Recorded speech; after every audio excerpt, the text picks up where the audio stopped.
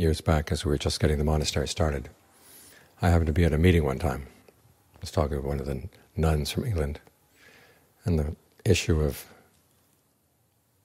chanting with translations came up. I said, "Well, we've we've done our own translations." She said, "Oh, how you how do you translate Ahang Homi?"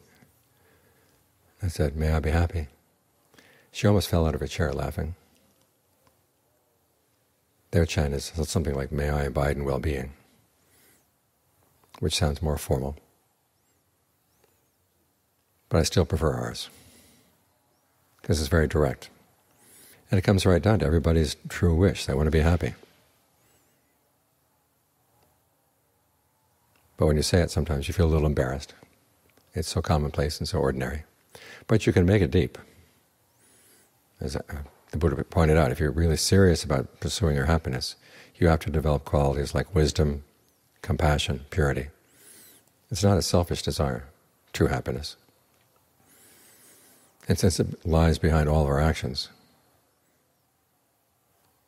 and because so many of our actions actually end up creating suffering, it's something we really should look into. Take your happiness seriously. Look into what really does cause suffering, what really does cause happiness. When the Buddha defined the, the wisdom faculty and the factors for awakening, it was basically insight into what is skillful and unskillful in the mind. That relates directly to the question of what truly leads to happiness and what leads to the, its opposite. Again, I know one scholar who objected to that. He says wisdom should begin with the th three characteristics. But the three characteristics find their true meaning in the context of the desire for happiness. In other words, if you're looking for happiness in something that's inconstant and stressful, why hold on to it? Try to find something better. So all of our desires aim at happiness. The reason there's conflict in the mind, though, is because we have different ideas about what will what will be happiness and what will lead to it.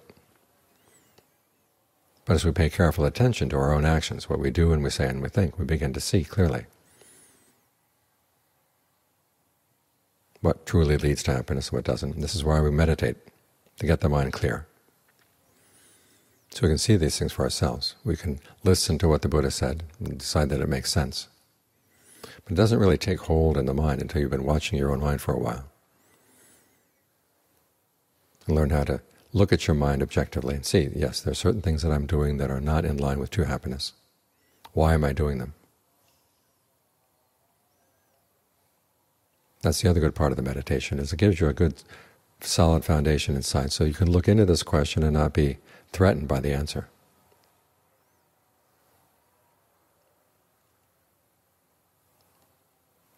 So always keep that ahang sukhito homi in mind. May I be happy. Each time you come up against a difficult decision. Ahang sukhito homi. And then figure out based on that what really would lead to true happiness. Happiness that wouldn't change on you. Because so many times we do get a little bit of happiness out of our actions, but then it turns on us and bites us before it leaves. We want happiness that doesn't cause any pain at all. And as the Buddha pointed out, it is possible. Which is why there's no reason to be embarrassed about ahang sukhito homi. May I be happy. Keep it direct and simple, straightforward, to the point. Don't let other things come in and obscure it.